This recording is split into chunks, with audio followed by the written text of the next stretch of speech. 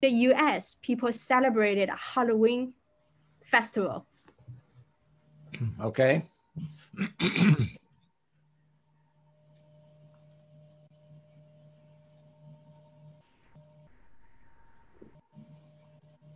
there. so this is, these are pictures that I took in Key West, Florida. And I'm going to show you where Key West is and uh, kind of zoom through these fast. This is uh, in Key West, a, a, bunch of people that gather. In fact, it's they're there right now because it's the Halloween weekend that, that they do this Fantasy Fest. Here is a picture of uh, Florida, the bottom of Florida. You'll notice Miami here on the upper right-hand corner, Hollywood and Miami. There's US 1. That's a highway that goes right by where we live. Uh, and we're in uh, Central Florida on the East Coast. Then you come down US 1, and these are the Florida Keys. And uh, all these uh, uh, red with, um, with a white stripe, those are dive sites uh, for scuba diving. Down here at the lower left is Key West, Florida. That's the last key where the highway stops. Okay. Here is a picture of the what is known as mile marker zero right here, mile marker zero, and that's me on the on my scooter me on my scooter at the beginning of US one. Okay. Here's another picture. This, the, uh, one of these people is real. That's me. The other person is a statue in Key West. Okay. This is a, the, it's called a march. It's a um, parade. Here we go.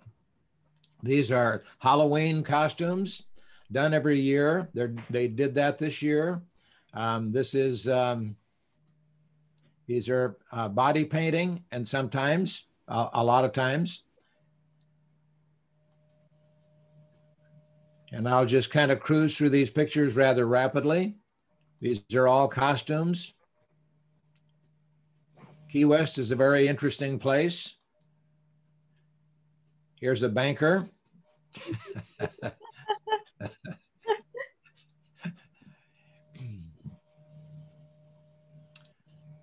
people really get into this. H1N1. Now, this is these pictures were taken some years ago. H1N1 is a swine flu, in case you don't remember. Yeah, I remember. Okay. okay. People really get into this. They have a lot of fun uh, decorating themselves uh, in their costumes. Person in the middle is real. The person to his on his right shoulder is not. Are you sure? Yes.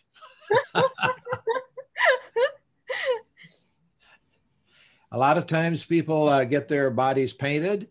They um, enjoy having their picture taken. And I was a photographer, and you'll notice people are looking right at me. Very interesting. Key West is, is an interesting place. Yeah, absolutely. Everybody gets into it including those in wheelchairs. The rat on his shoulder is not real, Minji. Thanks for letting me know. yes.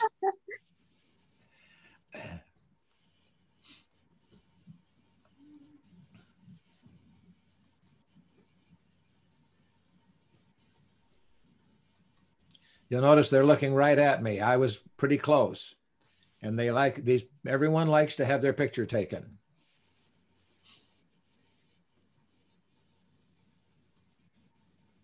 Now we shift to night. This is Sloppy Joe's Bar, very well known in Key West. That's where uh, Hemingway hung out, Ernest Hemingway.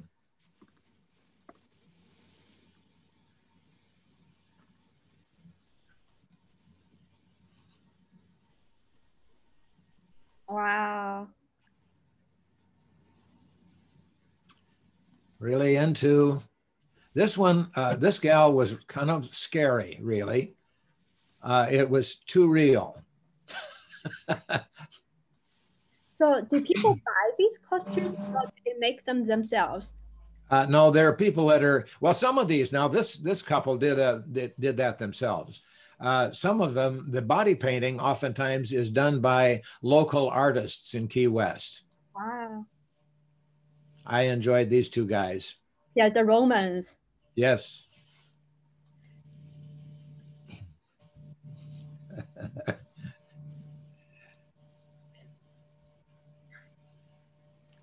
okay, that's the end of it. That's all. Oh. That's all for me. Thank you very much, um, Gary. Uh, what I didn't know was Halloween is actually, I, I always thought Halloween people just children, families goes family to family, household to household for trick or treat. What I didn't realize and I learned from your presentation is people actually use it as in a big costume party. Uh, Oh yes. So how long Yeah. has it been like this? Is it always the case or was it very recent? Well, uh, you know, I met a woman in um, in, in Sloppy Joe's at the at the counter where they sell um, stuff, and uh, I said, um, I was here um, quite a while, quite years ago, and I said, when did you first start um, uh, at the at the convention here at the Fantasy Fest? And she said 25 years ago. Wow. So it's been running a long time. yeah, uh, we wish this festival could continue maybe next year uh, after Yes. 2020. Uh, thanks for giving us an uh, original, authentic view of what's happened, like what used to last year, how people celebrated and all going back 25 years ago. Now, I think one of the hosts, uh, Joanna, she's very ready in her in her hat and costume to tell us a story from Romania and a European point of view, a folk story. So if we like, we can pin her so you can see Joanna's um, in, in a bigger in a, in a bigger screen for Joanna. I love your hat, Joanna. Uh, thank you. I'm just trying to. One second, because it didn't share the right screen. We are all learning about Zoom this year. Yeah. So you can see the screen? Yes.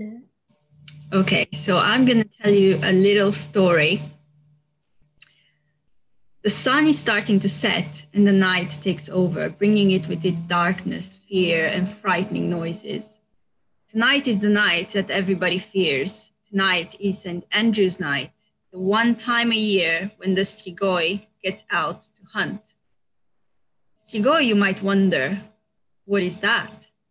A creature that is half man and half wolf, possessed by a spirit hungry for blood. Tonight, the dead are coming out of their graves to drink blood and suck life, to bring disease and sorrow. Tonight, the animals can talk to each other, but who listens to them must die. Tonight, nobody gets on the streets in the village. They are running wild, looking for victims. They will eat animals which are not in their stables. They will attack everyone who dares to get out after dark. In the morning, you will know who's been fighting with the wolves because of the scars on their faces. To protect from strigoi, one must rub garlic all over your body, hair, and forehead. Young women must rub garlic on every door and window frame. Put crosses over each door, window, and chimney, and hang strings of garlic in the middle of each room in the house. If you have cattle, make a cross with wax on their forehead and lock the stable doors. Women must finish their work in the kitchen before midnight and must not use sharp objects after. They're also forbidden to comb their hair. Men must hide their scythes, as the Strigoi will use them as weapons to fight. Midnight has come, and the sky opens up, letting the Strigoi out. They go from house to house, trying to find one that's not prepared. They will ask, Are you home? Are you home? If you answer, you will remain mute for, for eternity. The Strigoi fight and then they dance, and then they fight and then they dance again until the first crows of the roosters in the morning. Then they pull the bells of the church and disappear where they came from. They'll come back again next year.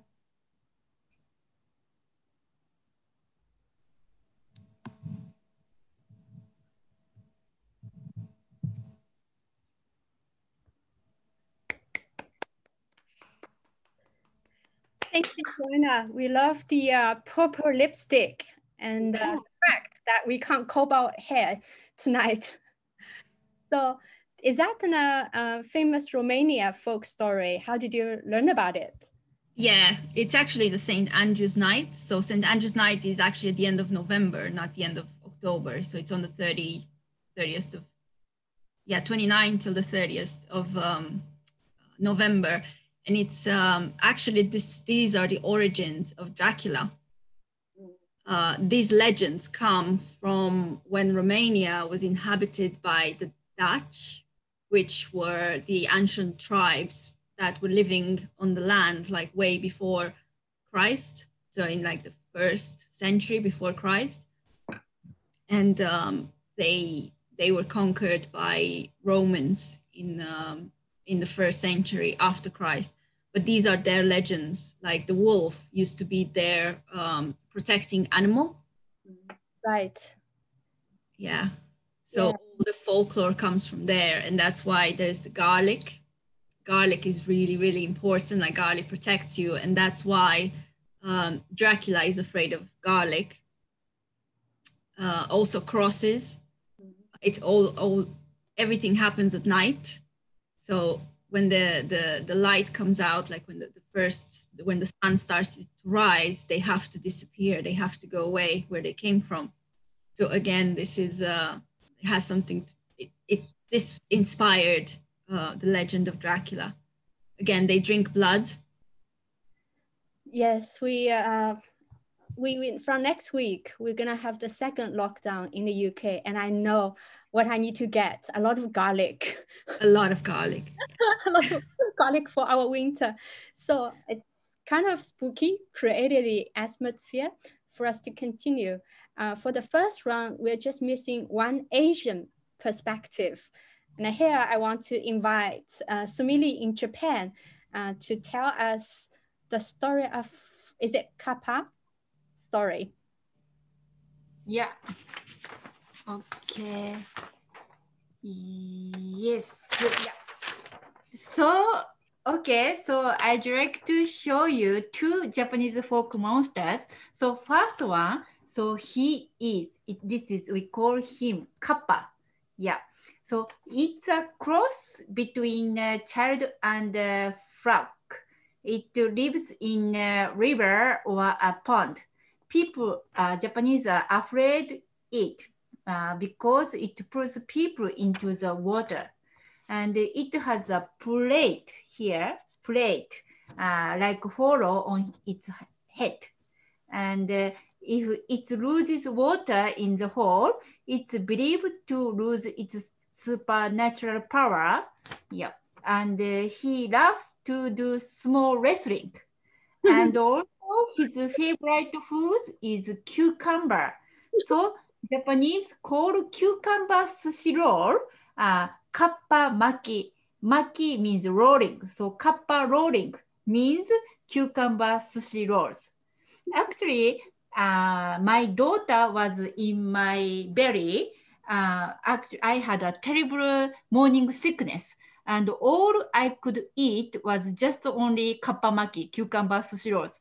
So uh, seriously, I was so afraid that uh, my baby maybe kappa. yes. yes. Yeah. I and uh, not. I hope she turns out not to be a kappa. Yeah. So yeah. So fortunately, uh, she was human. Yeah, really relaxed. And also sec second, so folk Japanese folk monster. She's nowadays it's very very famous monster called Amabie. And Amabie has three legs and uh, long hair. And actually, she's kind of a mermaid, Japanese mermaid. And uh, uh, about 170 years ago, in 1846, Amabie emerged from the ocean uh, in told an official. Uh, she, she said that if disease spreads, show a picture of me to those who fall ill and will be cured. So just actually after the COVID-19, uh, Japanese social media users spread her images in hopes of a quick end to outbreak. So now all Japanese knows this monster, Amabie, and also we have a lot of charms. Can I say that charms? So yeah.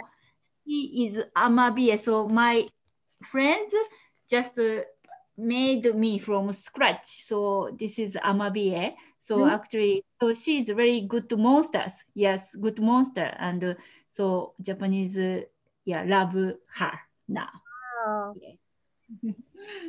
can you, can you show us the how to spell Amabia? We can research about this little mermaid. Yeah, sorry. So this is a very rough handwriting, but the A M A B I E. A M A B I E. And I hope it's working out for for you this year. I hope. Yes. Yeah. So actually, so now you can see Amabie. So that means no more COVID-19 for everyone. Yes. Good luck. we we all need our uh, Amabie this year. Yes. Yes. The situation. Yes. Yeah. Thank you. And your friend is very nice. She made this Amabie charm out of scratch. Yes, yes, from scratch. Yeah, so so, so this is my wallet. So always I have it. Yeah, you know. That's so, beautiful. Yeah, yeah, thank you very much. Thank you. No yes, problem. lovely. Yes. uh, thanks for kind of cute uh, kappa story. Uh, yeah, the cucumber sushi roll uh, is yes, top and also the uh, charm, uh, the little mermaid, Japanese mermaid that will get out us out of trouble this yes. year. So we had our first round uh, and a perspective from the States, how people celebrate Halloween with huge parades and makeups, and a perspective from Romania, which teach us what to get for our second lockdown this year. And uh, uh, hopefully with a little blessing from the uh, uh, Japanese Amabie charm, we will all get uh, finish 2020 uh, on a slightly higher note. Mm. Um, I want to share now uh, how we came up with this idea to have people from around the world to tell an, a little bit folk story.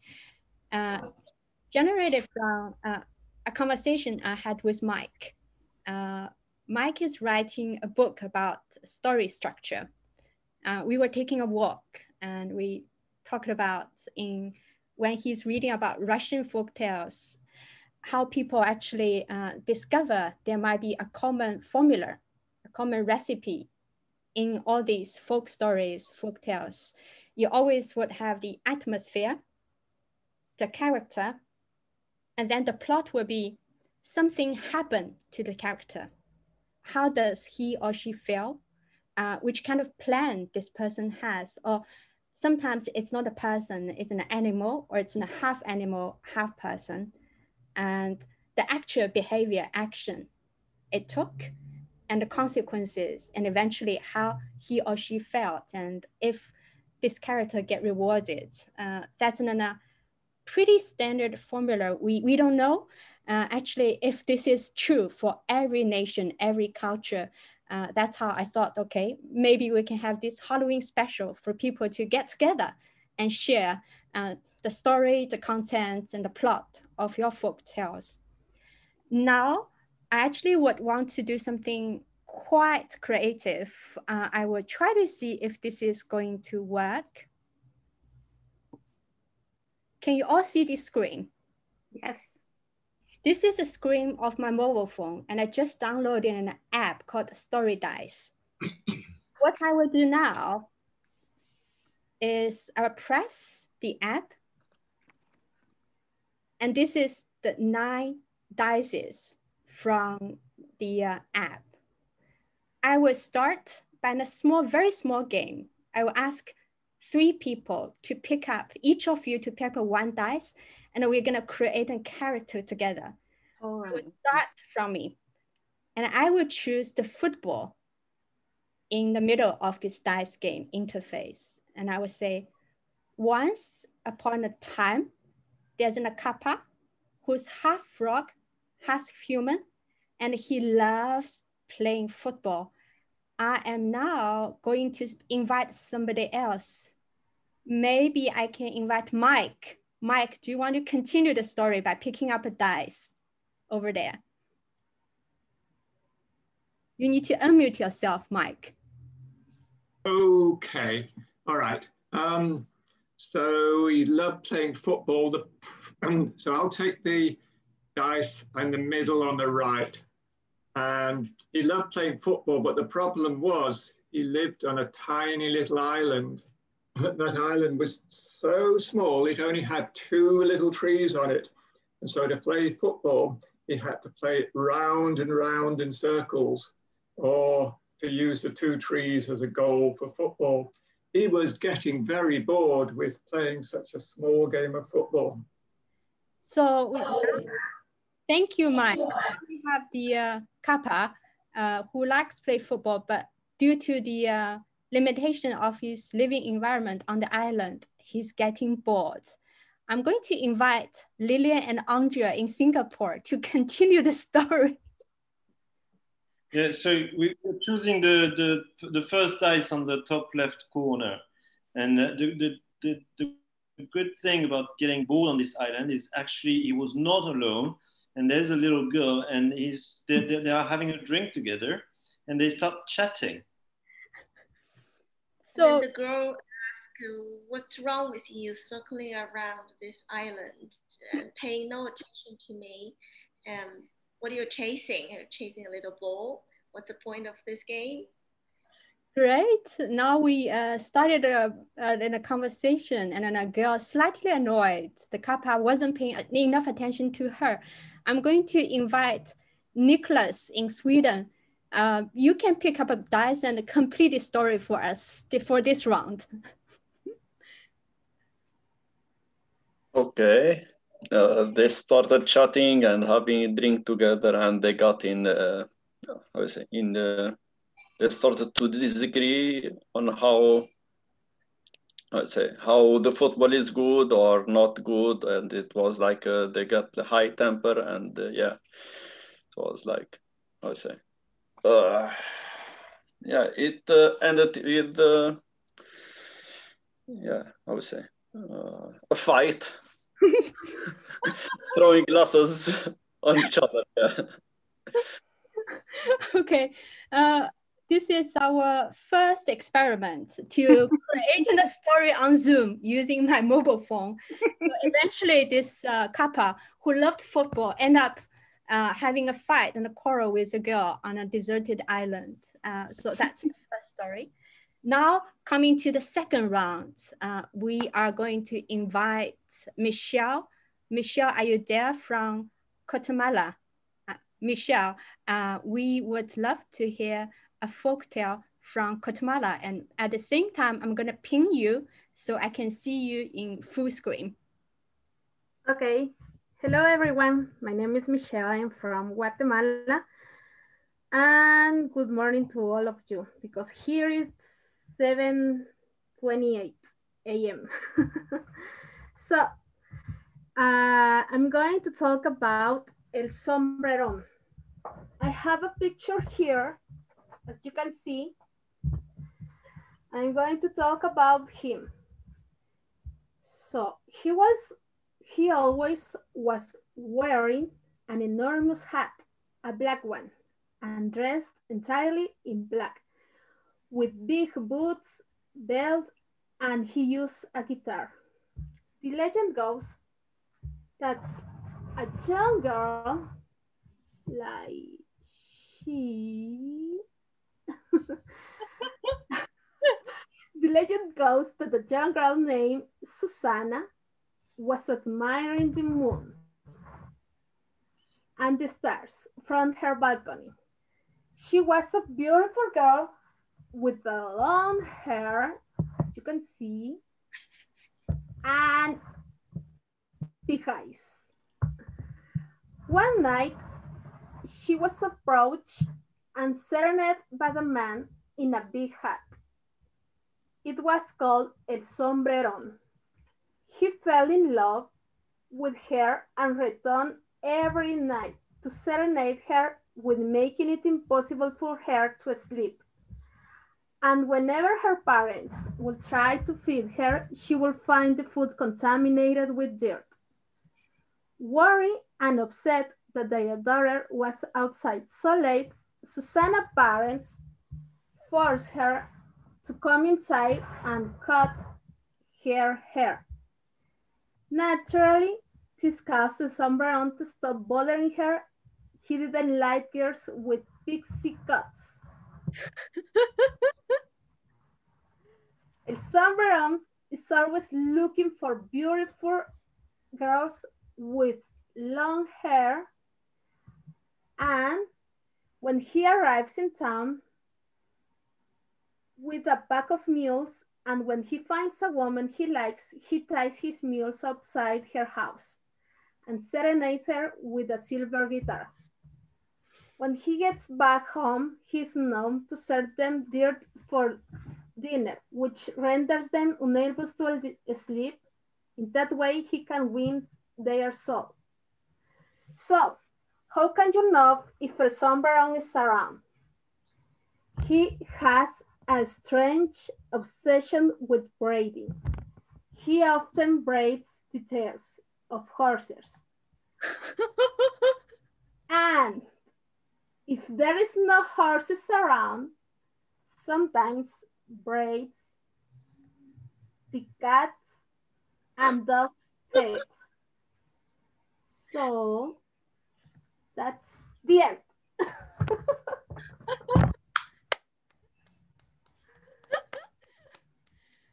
Thank you. Wonderful story. Some key lessons to learn from the story from Guatemala. If we want to stop sexual harassment, cut your hair short. and pay attention to animals. if they have breaks, then you have a potential stalker around you. Uh, yeah. thank you, Michelle, for adding a little bit of romantic feeling for our Halloween Yeah. special. Now, I want to invite Jason uh, to tell us a, a kind of a love story from China. Uh, Jason is new uh, today to our group. So, Jason, would you like to first introduce yourself and then tell the story of the big love story for Chinese folktale? Hi, uh, good evening. Uh, I'm Jason from China. Now, um, um, it's the first time to take part in this uh, um, uh, culture cultural uh, event. Uh, so I didn't, uh, I don't uh, prepare some materials. If if you are interested in this story, I will find some materials, pictures from internet and send in a group or somewhere. So uh, I know William Shakespeare wrote a famous play named Romeo and Juliet, a love story and a tragedy. Uh, today, I'd like to share a Chinese folk story, Liang Shanbo and Zhu Yingtai, butterfly lovers. Why we call this story butterfly, butter, butterfly lovers? Because Liang Shanbo and Zhu Yingtai loved each other, but can't marry. They died at last.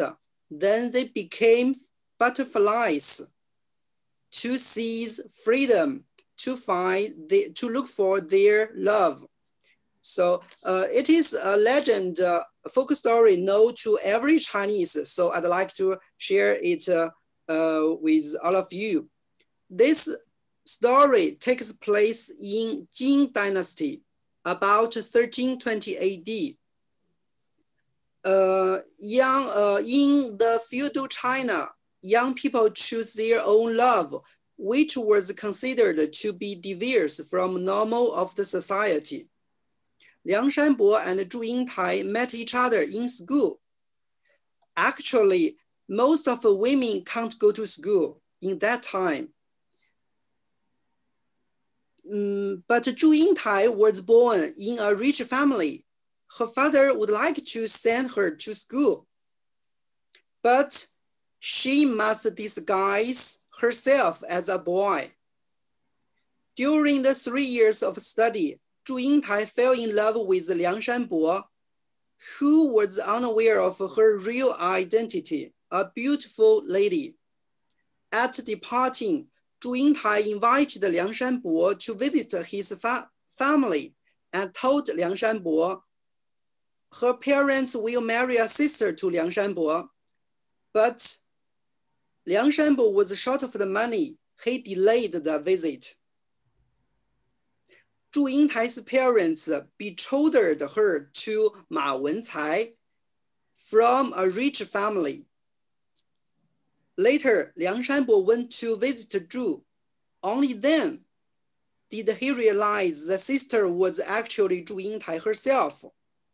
Liang Shanbo was in deep remorse, felt ill, and died at last. On the day of the wedding, Ma Wencai sent a flower boat to Zhu's home to bring her bride. When the flower boat for the bride passed Liang Shanbo's tomb, there came a gale, which caused the wave to surge so the boat, the boat could not go any further.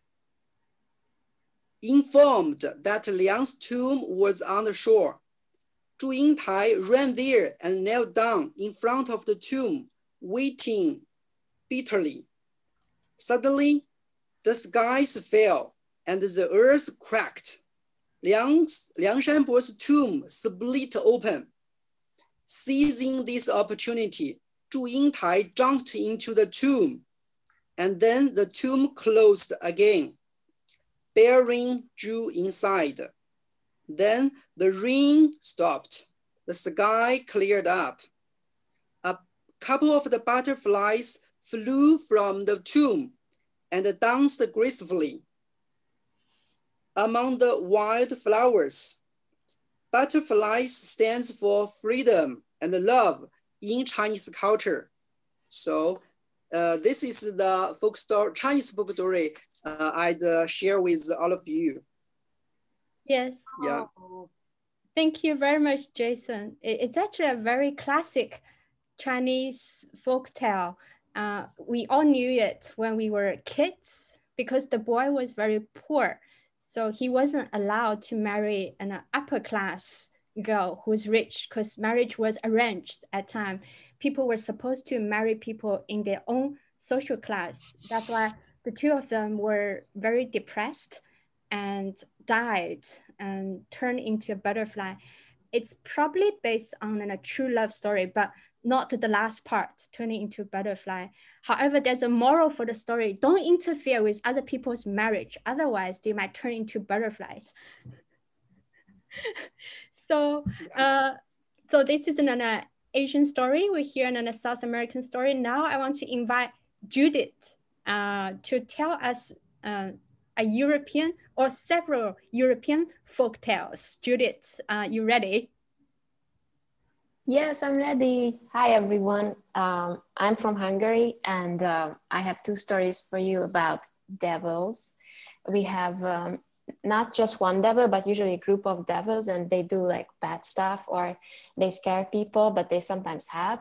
So they have, um, yeah. uh, we usually are sad that if we don't go to sleep, then the devil takes us away. So, okay, the first story is um, the devil and the cobbler.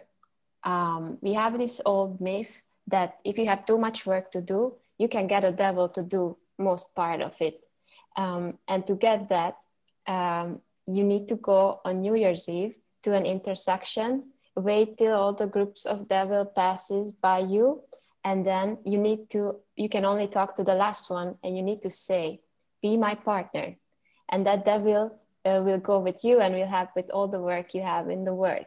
So the cobbler had lots of work and he remembered the story. So New Year's Eve, he went there to the intersection he talked to the last uh, devil that passed by him. He said, Be my partner, and he went with him. It was all good for a while. He helped a lot.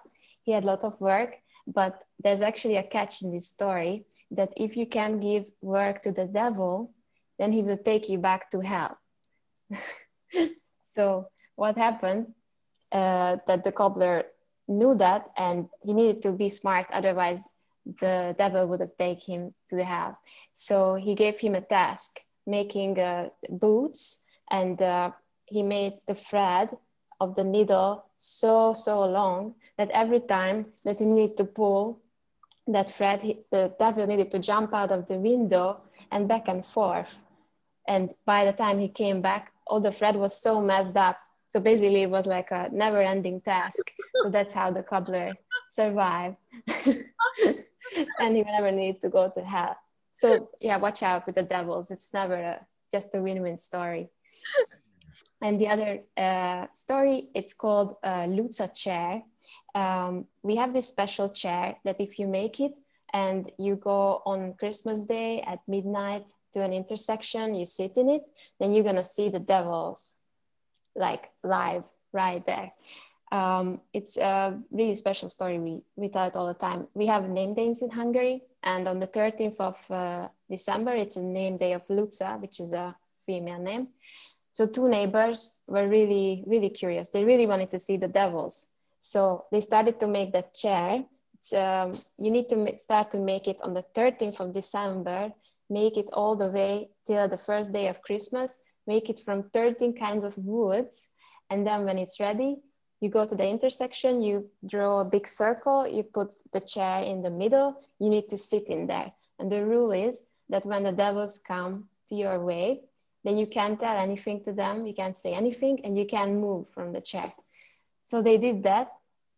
The two neighbors, they were sitting there, they were waiting, and after five minutes after midnight, the devils came in big carriages and horses. so they were like, oh my God, this is really happening. They were coming, coming, coming, and uh, they saw like beautiful men were driving the, the those carriages but in the carriages the actual devils like really ugly and really scary and they came and uh, when there's a Luca chair in there then they can't pass by you so they need to stop and they stopped and uh, they were yelling at them well you need to get out of the street otherwise we're going to kill you right now the two neighbors were really scared but they knew the rules they can't say anything so they just stayed still one of the devil came out. He got off the that carriage and he went close by. He even had a whip in his hand and he started to yell at them, "You need to go out now, otherwise I'm gonna kill you right here, right now." But they still didn't say anything. In the end, the devil was begging to them, "Please, please, just get out of our way. We really need to go this way. We have lots of things to do." But they still uh, stayed there. So in the end, all the carriages they turned backwards and they ran back where they came from. The two neighbors were devastated. They were just really scared forever. And um, they barely could walk home.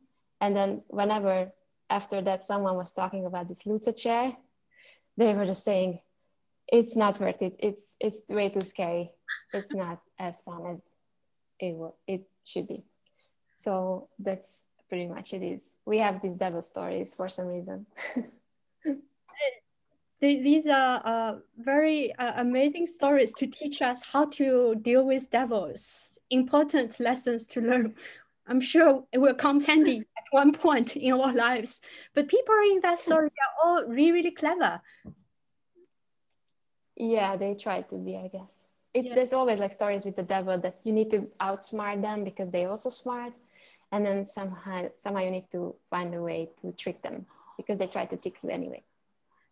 Uh, I'm gonna read a lot about Hungarian stories just to be, to be trained to be smarter in the future. And there's a question for you from Nicholas.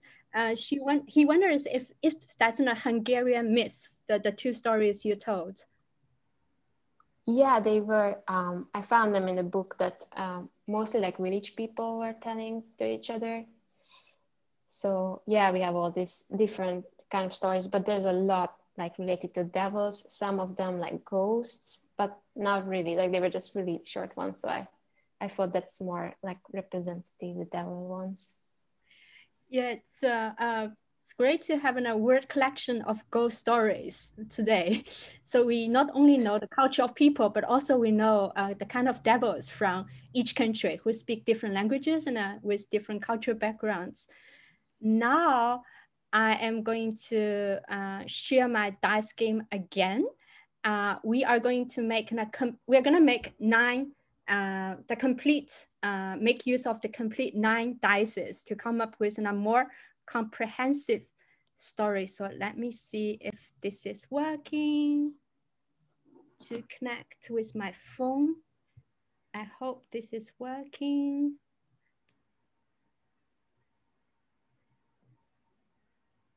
Right.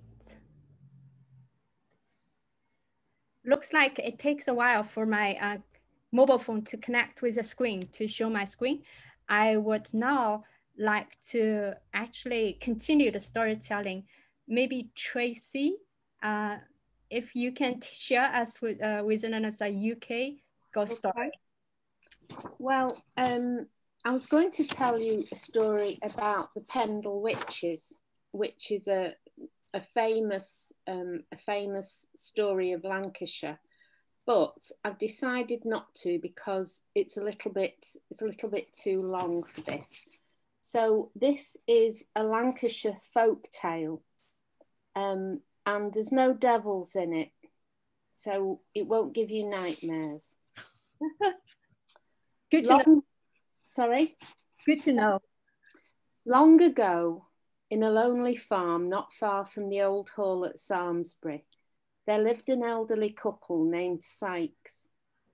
Old Sykes and his wife were childless.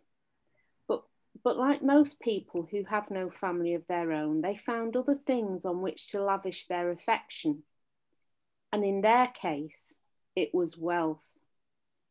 Not only had he been thrifty, he had also been lucky enough as a young man to find a store of gold, which he kept to himself and spoke of to no one.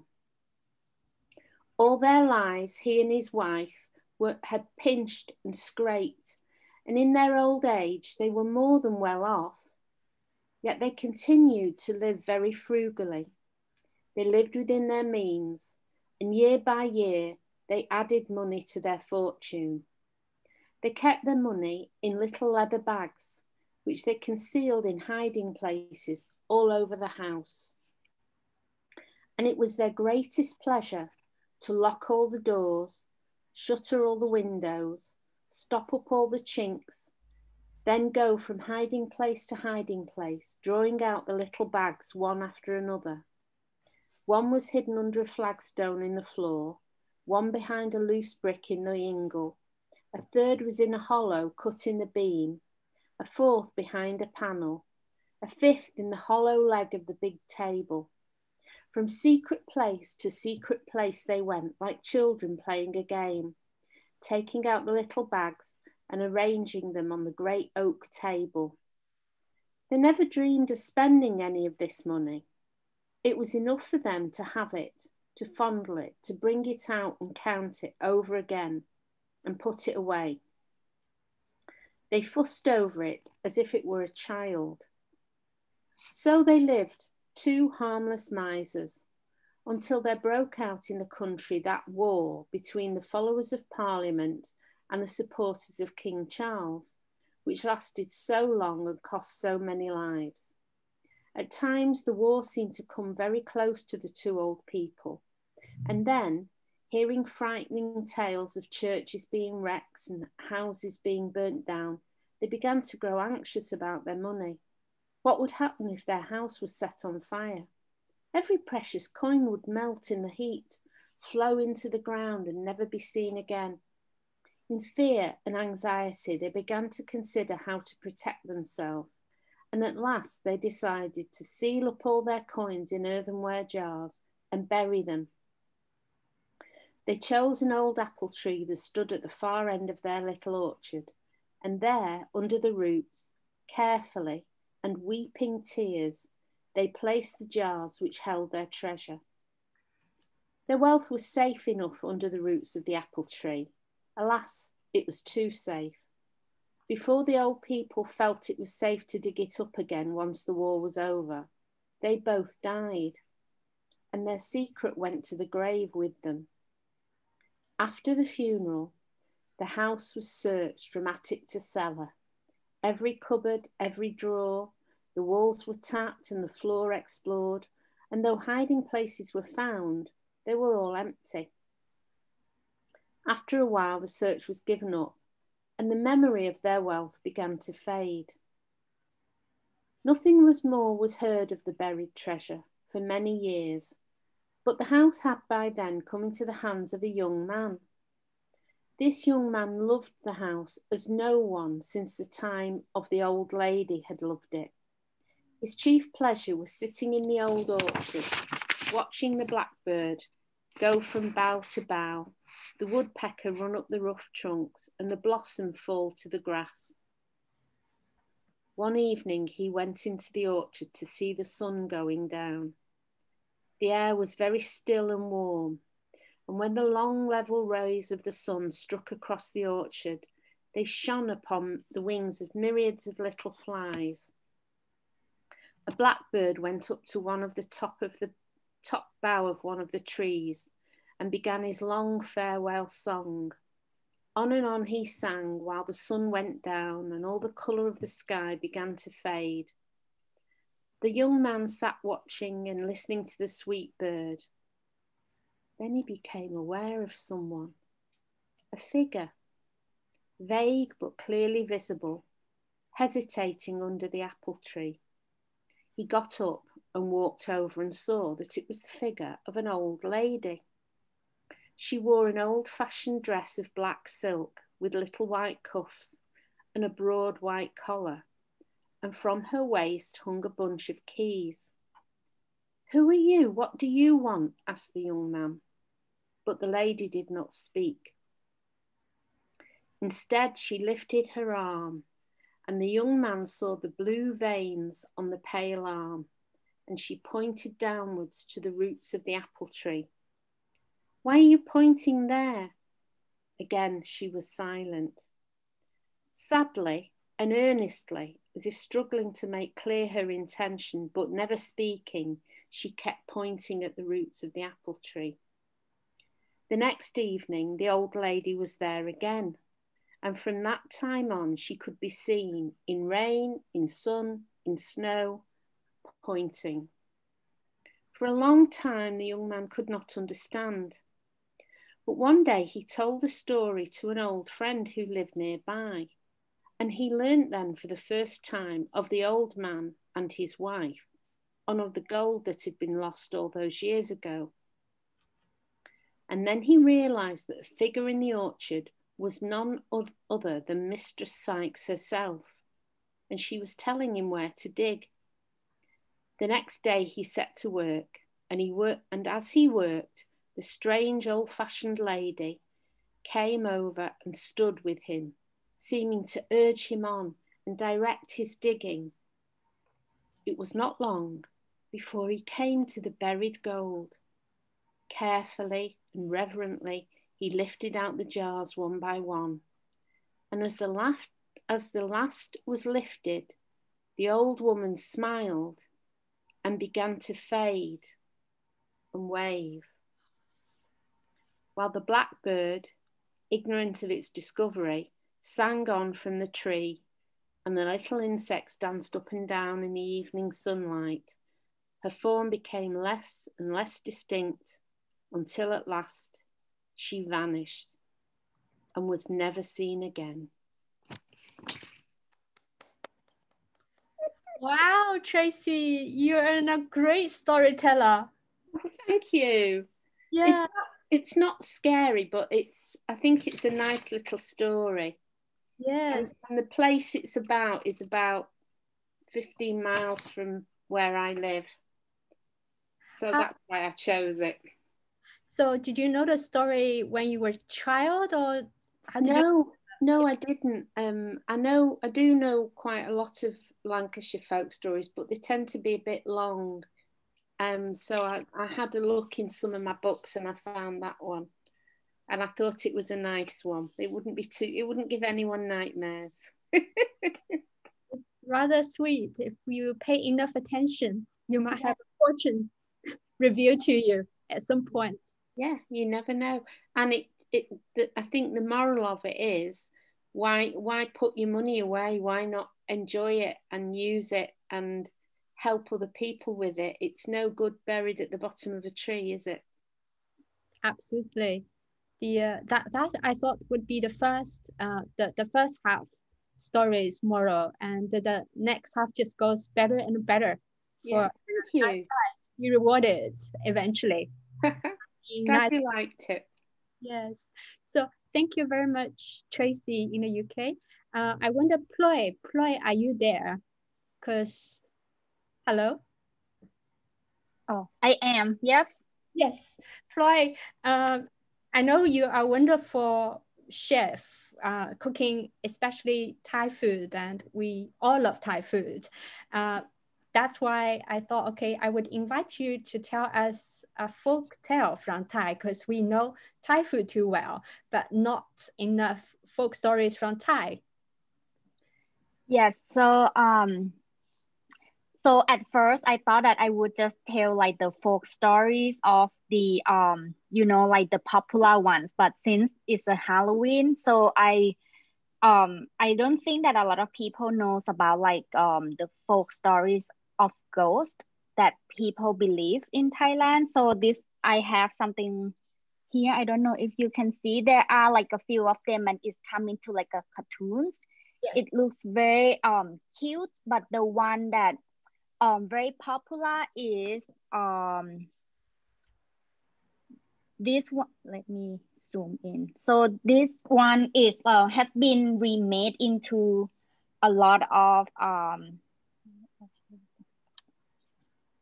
is um like a woman who has no body. It's only like the face and also like the um, the intestines and the heart. And they um the woman is actually like this ghost usually go into different houses um at night. So um if you see um this ghost, I know it's cute, but uh, because they make it into the cartoon. So if you see this ghost, it's not a good luck. So um, you should stay at home. So I think this ghost should be um, released during this quarantine so people don't get out of the house.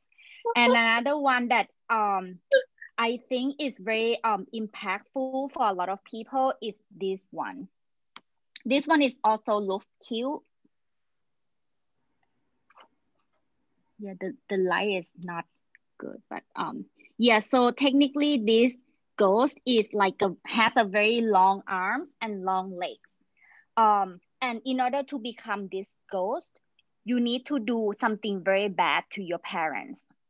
What? Like for yeah, so it's like this ghost is like a re- consequences of like children who do not respect um the parents or um hurt the parents um and also like kill the parents so um a lot of people like like perceive that um you should do something good for your parents because your parents are like the person who give your life and you should not um hurt your parents even with um emotionally and physically. So um in order to avoid to be this type of ghost after life um you need to um be nice to your parents and be grateful um, to what they have done to you. So this is like a popular one. And there are some other like folk stories where um you know like people try to tell the folk stories to children. So they the children try to like be nice to other people. So i think the story is like the same with other culture and other countries. Like the one that is very popular is like the shepherd. Like the the kid who is taking care of sheep and then like one day um the this lady was trying to like tell people like oh the the fox is coming to eat my sheep. But she actually lied um to people to mm. attract attention. And this happened like twice. And then um now like when the fox came to eat her sheep for real no one came to help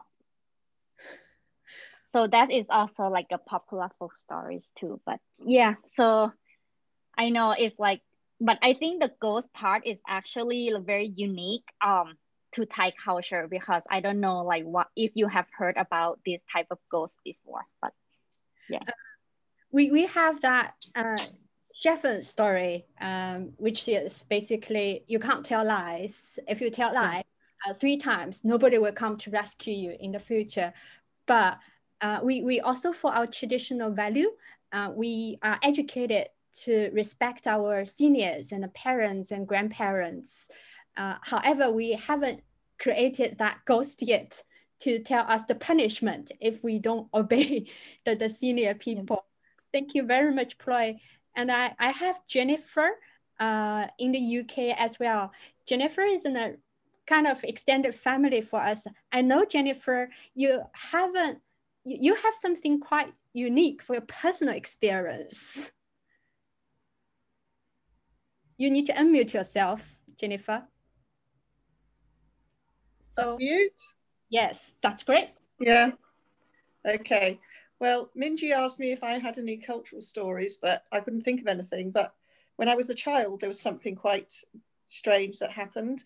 We were taken to a big country house where there was a tennis party for the parents, and the parents were busy all afternoon, and the children were running around a big country garden, and it was it was quite um, quite fun because there were lots of places to hide and um, it was a nice sunny day and we were all running around. And then after that, there was afternoon tea in a big hall. And if you can imagine a big house with a sweeping staircase that came down to the hall, it was quite dark and um, quite old fashioned and quite run down. But these were country people that invited everybody. And while we were all sitting having tea, an old lady came down the stairs and several people saw her and she was wearing quite a long dress and people said oh to the lady whose house it was is this your mother and um, she said no my mother died quite a few years ago and this old lady was seen coming down the stairs by quite a few people including me and then she just sort of disappeared and everybody said did you see that did you see that um, and it's something i remember from when i was quite a small child Wow. So, so, uh, so if you believe in ghosts, well, I don't know. I think I've seen one. You, you, definitely bring our uh, Halloween special to a high end by uh, something you experienced yourself as a child. Thank you for sharing with us. Uh, it will make uh, our uh, event special and spooky. I am now going to end with the final, our final dice game. For this, I need nine volunteers or maybe eight of them. Can you all see the screen now? Yeah. So I'm gonna touch and I have random game, um, random dice. I will again, starting from me, uh, I will choose the icon on the top bottom, hold on, hold on. Somebody is trying to join in again. Bottom right. Once upon a time, there is a teddy bear. He's very, very, very cute. And he's a huge fan of ice cream. Then over to Joanna. You take over. so there was no ice cream shop near the forest where the um, the teddy bear lived. So he thought he should go to town because he really, really, wa- really wanted some ice cream. So he jumped on his motorbike and headed over to town. Joanna, you choose the next person. uh, Judith?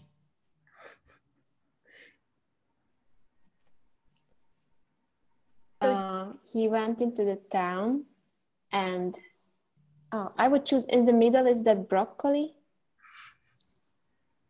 okay. you think? Okay. So he found an ice cream shop, but it was like a really weird, like halfway town, and they only had broccoli flavored ice cream. Judith, I never had broccoli ice cream before. what a wonderful idea. So please choose the next one, a next person.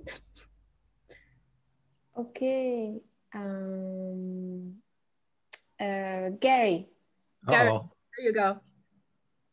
so since uh, since he didn't like the broccoli ice cream, uh, it tasted kind of like uh, stale mushrooms, and so as a result of that, am I am I? Um, you, need to choose a dice, Gary. Yes. Okay. So. uh, he uh, got on the telephone. This is the, and said, um, is he called uh, the police department because it was, uh, he thought maybe they would know about um, uh, ice cream. So they, he said, I, I've stopped at this bro broccoli ice cream place and it's just terrible. Uh, can you help me? and then they suggested, yes, we've got some that's um, a, uh, a fruit based, and it's the the one above the telephone, fruit based, and it's at a, at a shop that's very close to you. So Gary, thanks for calling the police for our teddy bear. Can you name the next person? Okay, the next person is Ploy. Ploy, you go next. Um, yeah, and after the police suggested, um, so um, they end up buying the lemon to squeeze on top of the broccoli ice cream to add more citrus flavor. I think this is even so, getting better. lemon with broccoli. Ploy, you name the next one. Um, the next one um, can be um, terumi. Terumi Chow. Here we go. Food fan.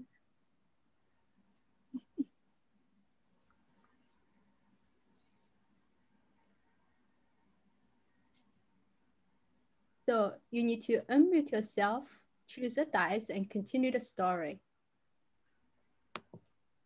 Uh, I will choose, oh. Okay, so I will choose the, is this us? Us? The, uh, the middle, the left-hand side? Uh, the middle. Earth, yes, the earth, earth, globe, yes, our earth. The teddy bear tried to improve the ice cream tastiness. So he tried to um, collect all the information from the ice all over the world. And uh, one day he got the good answer from the our quiz. nice. Yes. This is the most global teddy bear I have ever met, met in my life. Terumi, would you please choose the next person to take it over? Okay. Hmm? I couldn't find. Really? Are you able to find people's names? Ah, okay. So I'll choose Michelle. Michelle. Please go next. Okay. So the teddy bear was, um, he didn't like the ice cream that he was uh, eating.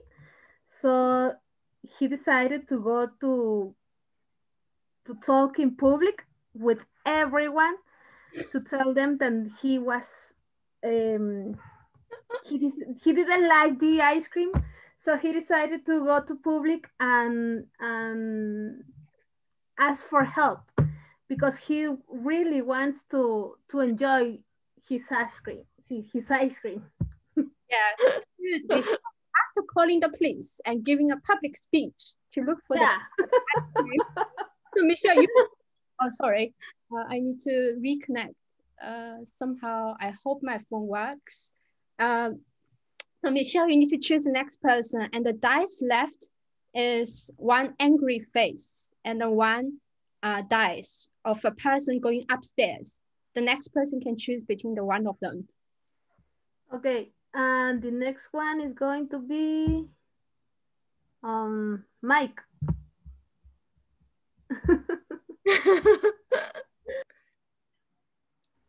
Mike, can you unmute yourself?